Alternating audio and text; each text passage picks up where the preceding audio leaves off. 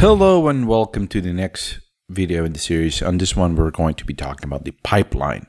The pipeline is critical in PowerShell and is of great importance. What does it allow us to do? To send output from one command to the other to the other. So we can actually pipeline multiple commands and the output of one feeds the other and that one will feed the next in that pipeline or process that we're trying to do. So how here's a very simple example.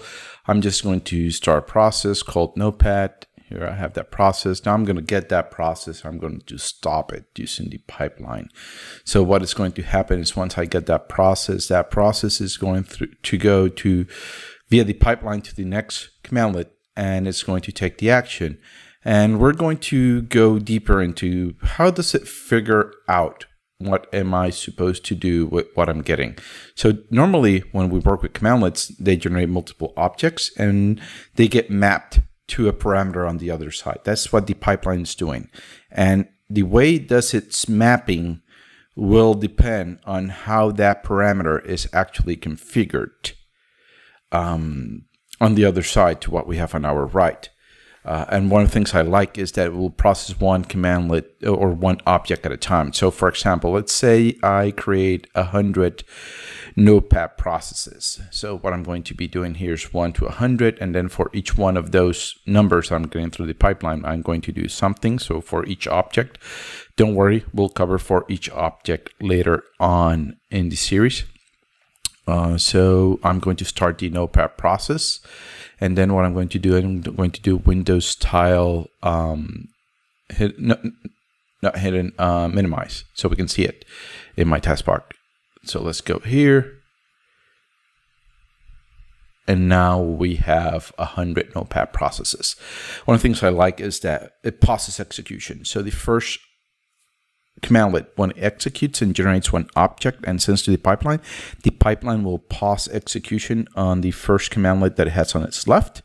It's going to grab that single process, process uh, and do whatever it needs to do with it, and then uh, it will grab the next. So we're not filling up memory. So if I do get Notepad processes, instead of getting all 100 Notepad processes, I'm going to be getting one at a time.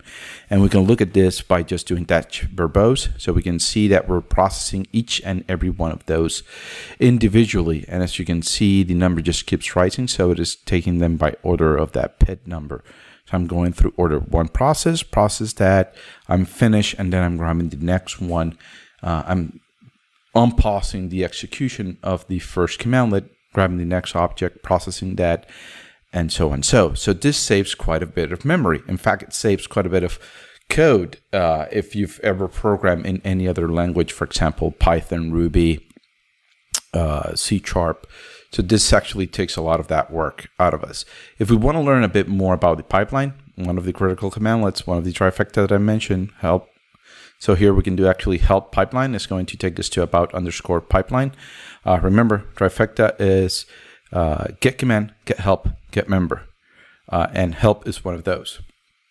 And as we can see, we have quite a bit of information with very good examples. It even goes very deeply into how the pipeline actually works. Uh, as I have to say, Microsoft does awesome work when it comes to their documentation. Also, this documentation is open to the public, so we can actually contribute to it openly via GitHub. Also, the see also subjects, I actually do recommend that you go and read those also after you watch the video. So now let's uh, look at how it makes this decision. Uh, so if we look at the um, parameters of stop process. So let's go here, parameters, and I'm going to get them all. Uh, remember when we covered help information, we have required position, default value, accept pipeline input. That is the critical one, accept pipeline input. So if we look at this, we're going to see that, um, let's see, accept pipeline input false. So this one doesn't take, so we won't match on that. If we keep going down here, we have one, which is set pipeline input. Yep, accepts by property name. That means that uh, whatever object I get from one side, the, the property name matches this the name of this parameter. I'm going to match it to it. Here we have another one, which is by value, which means the type of object that I'm getting. I'll match it uh, to it. Here I have another one, which is name, which is by property name also. So I can have multiple parameters that accept uh, the same type of pipeline input, uh, you may say. Uh, and let's go into how it makes this decision. How does does having multiple uh, pipeline inputs actually affect what we're actually doing? So for this, we're going to, um, for example, here we have by process. So it only takes a process by value. And uh, we only have two by property. Uh, one of the things to, uh, that we have to know when we're working with the pipeline is that first it will match by value, then by property, unless we have uh, parameter sets, if we have parameter sets, is only going to match on one of those parameters. It's going to choose one of those parameter sets and match by those. It is first going to do parameter sets that take by value. To illustrate this, I have a script that we're going to, uh, I have multiple functions in it that I created to illustrate this decision process. And then we'll go a bit in, into the troubleshooting on how you can troubleshoot if all of a sudden we match a multiple parameter sets and the script's going to go like, hey, it's not the default, which one should I go? And we're going to be looking at how does that binding actually works in the background because it's actually parameter binding is how it's called. So here we have one, no parameter sets, value from pipeline by property name. So it will match by property name true. Here I have another one value from pipeline also true and um, no parameter set. So we're going to, if, if I match, depending on which one, I'm going to uh, show the name or show the output on which I match. Um, and we're going to show both in this case because we don't have parameter sets. So let's do CD see user Carlos. Let's go into my desktop here. Let's do dot sourcing. So we add this to my current session. Uh, let me add the pipeline. Now we have the functions in uh, my session to work with. So let's do get process and let's get PowerShell. We're going to have, I think, two PowerShell processes since the uh, code actually creates a couple. Uh, and let's do test pipeline one. Let's run this. In fact, let's just get all. Uh, on this one, we can see, hey, submit, then we get the submit object, then we get submit 64, we get submit 64 object uh, below that one. And as you can see, I'm matching on both because there's no parameter set. So that means I'm actually populating all of the um, parameters that actually accept via the pipeline. So let's take a look at my test uh, pipeline one function. So you can see that it's only it doesn't have parameter sets. It's only one single one. So it has name and input object. Now, how would it behave if we have parameter sets? So I have here one that is by name, the other by value. You can put whatever name you want. And one of the things that we're going to actually see here is that even though my default is the property one, it's always going to try to do um, by value. So here, as you can see, we have two different parameter sets, two different ways that we can execute this function. So let's do test pipeline two. As you can see, now it only match by value. Hmm. And what would happen if I have multiple parameter sets that take by value? So let's take a look at another function for this that I have, which is test pipeline 3. On this one, we have multiple that take by value. One of them takes input object. The other one take uh, takes into a property called AO object. As you can see, one takes process, the other uh, PS object. PS object is actually another way to reference any object uh, inside of PowerShell. Let's go here. Let's do get process and let's go three.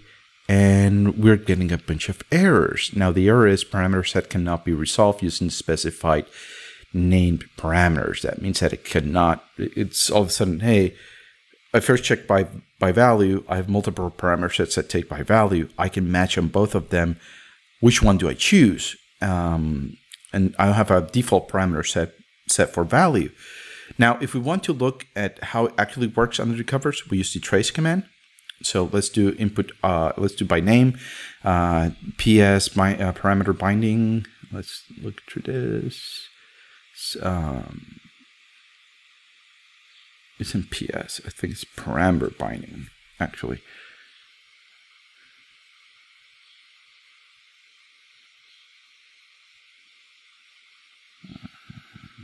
Check my notes here. Yeah, I think it's parameter binding. Parameter binding, and let's go here, expression. This is the code that I'm going to be doing a trace on. And I'm going to do get process, and I'm going to do PowerShell. I'm going to have multiple of this, and I'm going to send it to test pipeline 3 so we can look at the error. Um, now the out, it won't show you the output unless you do tag uh, PS host, so it sends the output back to you, um, the debug output.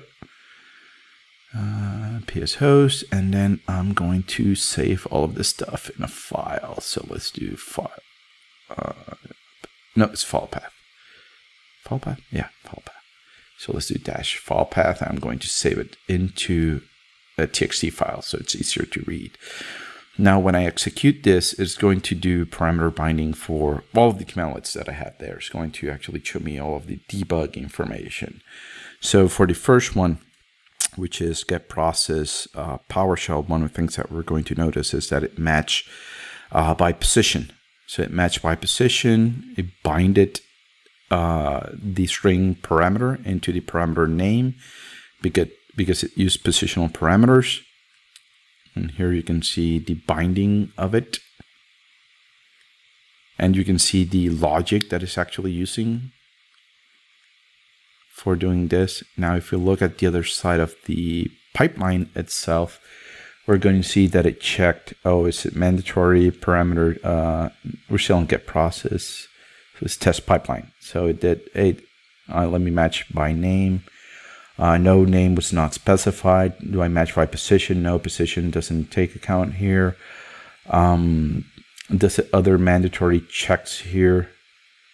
And as you can see here, uh, there was no match for it to take into consideration.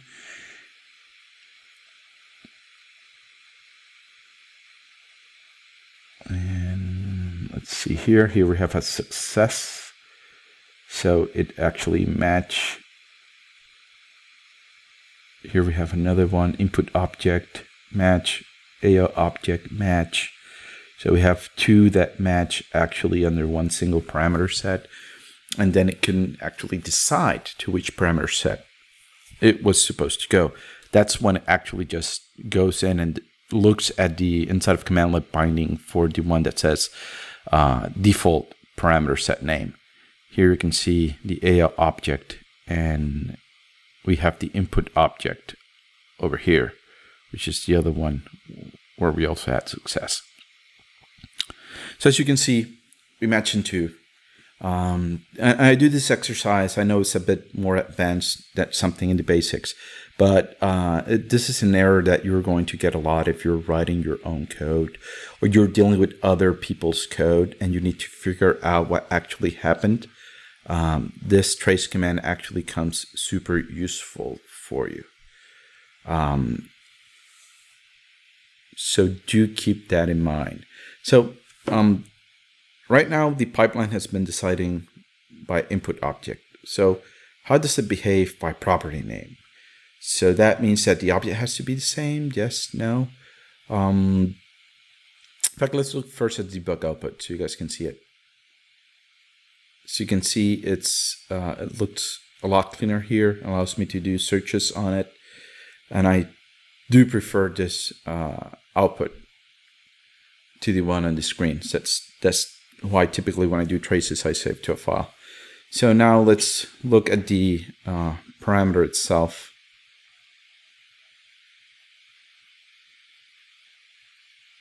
One of the things that we can see when we use get members, that get member why is it in the trifecta? Because it gives me the type. Also lists all of the properties, so I know on what am I going to be matching. So far, we've um, I focused on the by value. So what happens when it doesn't match by value and it has to do by property name? So let's um, take a uh, let's do an example here. I'm going to create a CSV file that one of the properties is going to be the name of the process, and then the other property just has a bunch of garbage in it. Um, so let's do name, and then let's do description. So now you have we'll have two properties when we import this. One called name, the other description. One is going to be called Notepad, and the other one we're just going to put the Notepad process. Let me save this as a CSV file. Processes.csv. Let's create a hundred uh, processes again. In fact, let me show you. Uh, first, import CSV so you guys can see how it looks. See, name, description. If we get send it to get member, you're going to see that both of them are going to be note properties. So I have one called uh, name, the other one description, note properties. So the one that we're going to match, as we saw before, is the one called name that takes by property name. So if we create 100 notepads and I'm in the wrong path, let's uh, remove the dot slash here and let's do notepad. I'm going to create a hundred notepads. Let's take a look so you guys can see that I have a hundred notepad processes running on this machine. And what I'm going to do is uh, when I import this CSV, I'm going to actually kill it. I'm going to stop all the notepad processes on it because we're going to be matching my name. So uh, just so you guys can see, uh, here, here you go. I have 100 notepad processes. I click enter and it's going to disappear from my taskbar.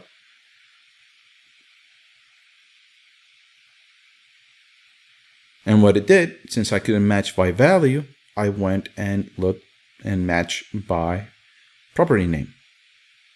So if I, you can see it here, help stop process and